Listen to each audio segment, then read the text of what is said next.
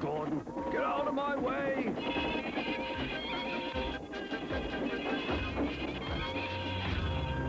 Percy opened his eyes. Gordon had stopped with Percy's buffers